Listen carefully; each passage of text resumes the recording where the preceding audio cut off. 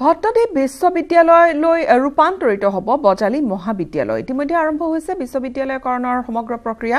নলবাৰী আৰু বৰপেটা জিলাৰ ছাব্বিছখন মহাবিদ্যালয়ক সামৰি ল'ব ভট্টদেৱ বিশ্ববিদ্যালয়খনে। আৰু ইয়াৰে বৰপেটা জিলাৰ সোতৰখন আৰু নলবাৰী জিলাৰ নখন বিদ্যালয় মহাবিদ্যালয় আছে।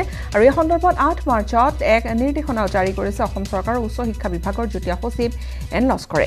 ভট্টদেৱ বিশ্ববিদ্যালয়ৰ উপাচাৰ্য নিযুক্তিৰ বাবে প্ৰকাশ কৰা হৈছে বিজ্ঞাপন। বিশ্ববিদ্যালয়ৰ আন্তঃগাঁথনিৰ বাবে ইতিমধ্যে দুকোটিৰো অধিক টকা আবণ্টন দিয়া হৈছে বুলি মন্তব্য কৰিছে বজালী মহাবিদ্যালয় কৰ্তৃপক্ষই।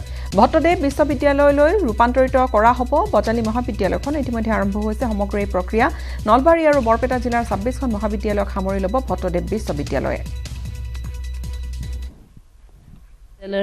এক ইতিহাস জড়িত হৈ আছে আৰু এই বজালী মহাবিদ্যালয় উন্নীত হ'ল ভট্টদেৱ বিশ্ববিদ্যালয়। গতিকে চৰকাৰে অসম চৰকাৰক প্ৰথমতে ধন্যবাদ জনাইছোঁ। মাননীয় মুখ্যমন্ত্ৰী সৰ্বানন্দ সোণোৱাল তেতিয়াৰ শিক্ষামন্ত্ৰী সন্মানীয় ডক্টৰ হিমন্ত বিশ্ব শৰ্মা আৰু অধ্যক্ষ ৰঞ্জিত দাস ডাঙৰীয়া আৰু বজালীৰ যিখিনি শুভাকাংক্ষী ব্যক্তি আটাইকে আমি ধন্যবাদ জনাইছোঁ। আজিৰ এই শুভ মুহূৰ্তত